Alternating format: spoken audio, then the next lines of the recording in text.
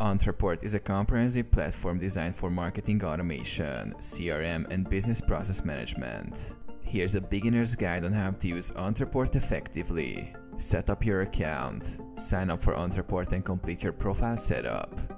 Customize your branding and account settings. Navigate the dashboard. Familiarize yourself with the dashboard, which includes sections like contacts, campaigns, emails, and tasks. This is where you will manage your marketing efforts and customer interactions. Import contacts. Import your contacts into Ontraport using CSV files or integrate with other platforms like Gmail or Outlook.